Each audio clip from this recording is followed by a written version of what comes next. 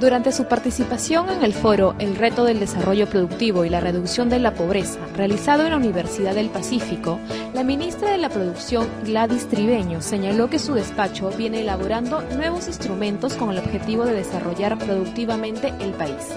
Indicó que uno de los modelos a seguir estará basado en el proyecto de reducción y alivio a la pobreza, PRA. La titular del sector mencionó que este modelo es sumamente interesante porque desde el inicio se trabaja en la sostenibilidad de los proyectos y si uno elige correctamente la cadena, seguirá trabajando en el futuro. Además, tiene un adecuado enfoque del mercado. El proyecto Reducción y Alivio a la Pobreza, PRA, es un emprendimiento de la Agenda de los Estados Unidos para el Desarrollo Internacional en el Perú, USAID Perú, con la finalidad de contribuir a la reducción de la pobreza a través de la generación de empleos en los Andes peruanos e ingresos que sean sostenibles en zonas pobres del interior con un enfoque empresarial. El PRA, en el modelo que tiene, lo que hace es cerrar círculos. Eso es lo que hace, es lo que mejor sabe hacer.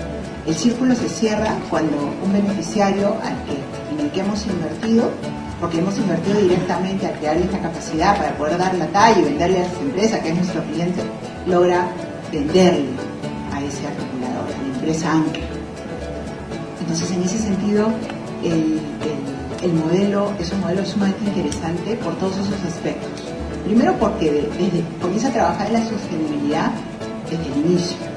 Cada vez que elige a un nuevo cliente, está trabajando en la sostenibilidad del proyecto. Si lo elige bien, se garantiza que esa cadena hacia el futuro, cuando el proyecto termine, siga funcionando.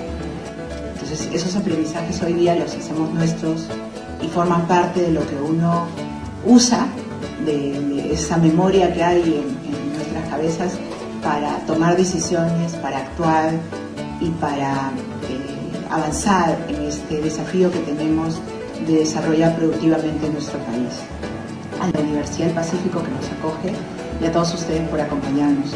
Con eso, doctor clausurado, este, este foro que hemos tenido, muchísimas gracias. Gracias.